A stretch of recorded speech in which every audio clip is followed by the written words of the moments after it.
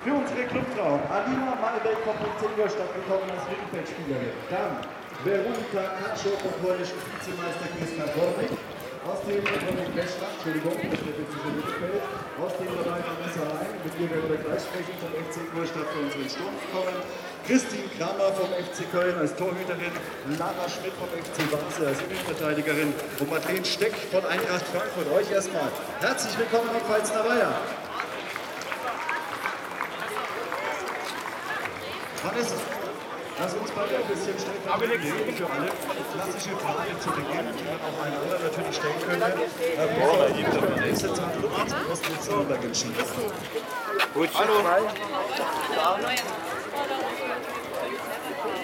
Und natürlich, wie gearbeitet wird, hat mich sehr überzeugt. Und deswegen habe ich mich für den Wechsel entschieden. Und du kommst jetzt vom ersten FC Ingolstadt, das sind gerade mal 70 Kilometer. Ihr hattet ja die letzten Wochen zum Teil heftige Hitze. Vanessa Heim, die von Ingolstadt nach Nürnberg wechselt, wird gefragt, wie die beiden Vereine im Vergleich dastehen. Vor mehreren Jahren hatte der FC Ingolstadt immer noch ein bisschen die Nase vorne. Das hat sich in den letzten Jahren ein bisschen geändert. Es ist, Ingol äh, es ist Nürnberg natürlich vorne und das natürlich auch verfolgt. Und ja, deswegen super schön jetzt hier zu sein. Schaust du eigentlich auch die Länderspiele bei der WM an? Sie sagt, die Anstoßzeiten Zeiten sind ein bisschen blöd, weil es am Vormittag ist.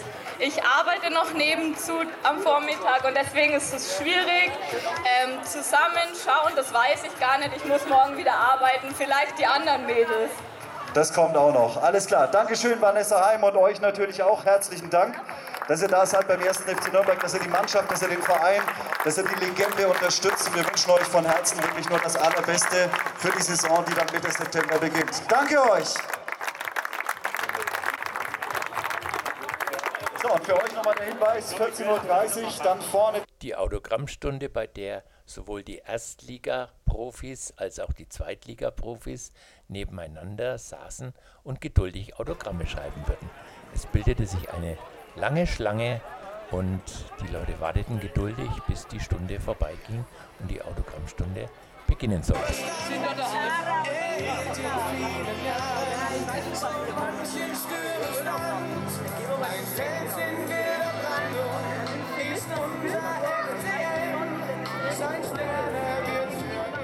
Und derweil holte unser Fernsehteam ein paar O-Töne von den Zuschauern ab.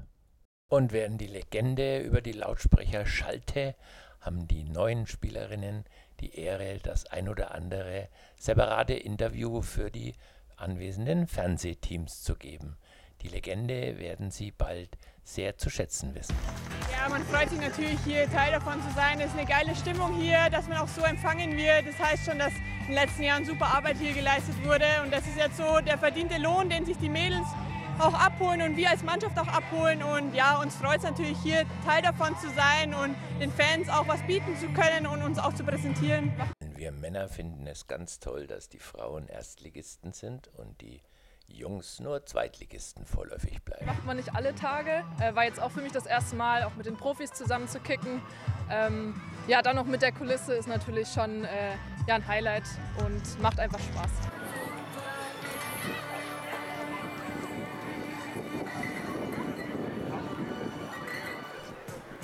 Auch Dieter Nüssing, Michael Wiesinger oder auch Dieter Hecking hatten durchaus hin und wieder Zeit für einen kleinen Plausch. Das Ende der Autogrammschlange. Eine knappe Stunde bevor die Autogrammstunde beginnt. Währenddessen ein paar Hintergrundgespräche mit Gung. Man konnte die ein oder andere Geschichte austauschen über den HSV, die Glasgow Rangers und dies und jenes, unter anderem zum Stadionneubau.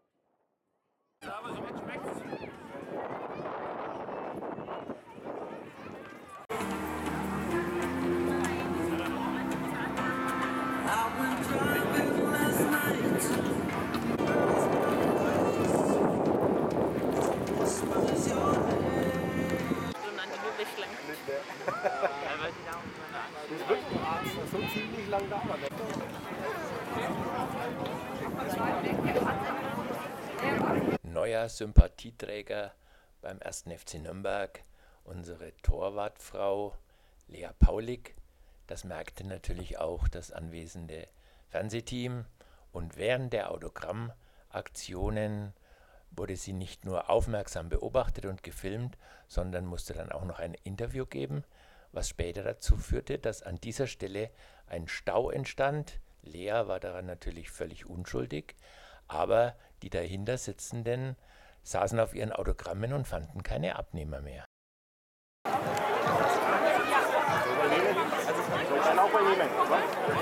Können wir weitermachen.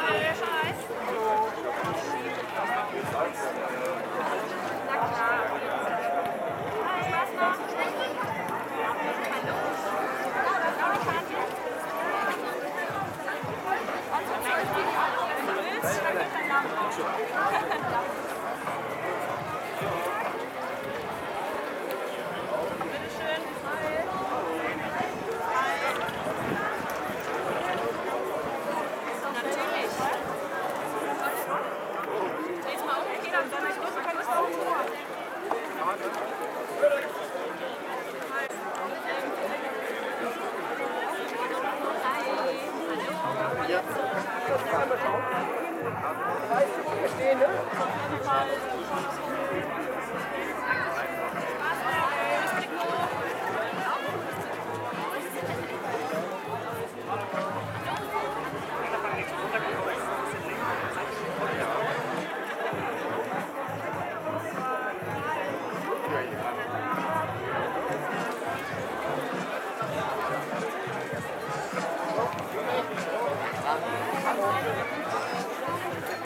Was brauchst du?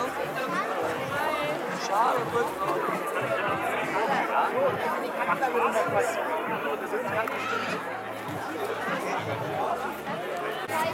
Achtung.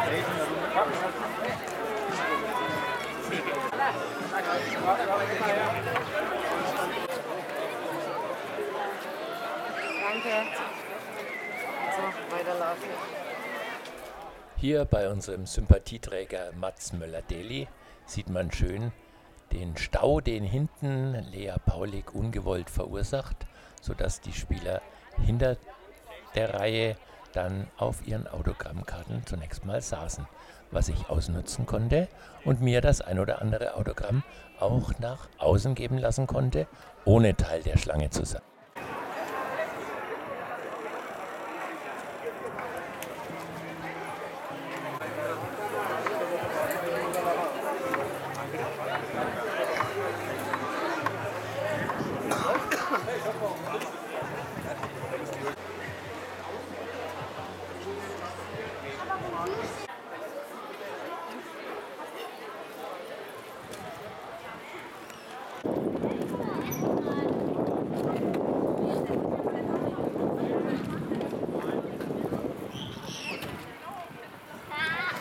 Natürlich spürt man den Druck. Ähm, das Tor war relativ klein, aber ich bin dann froh, dass ich treffen konnte. Ähm, da ist auch immer ein bisschen Glück dabei, aber hat dann gepasst, ja. Ja, man freut sich natürlich sehr, wenn man weiß, dass man in sieben Wochen jetzt dann endlich starten kann in der Bundesliga. Und da genießt man natürlich jedes Training, auch wenn es hart ist. Freut man sich natürlich, weil man weiß ja, für was man arbeitet und man will gemeinsam als Team das Ziel Klassenerhalt erreichen. Und dafür werden wir jetzt die nächsten Wochen hart dafür arbeiten, auch wenn es manchmal wehtut. Aber ja, wir wissen, für was wir es machen und deswegen freuen wir uns alle, wenn es dann bald auch losgeht.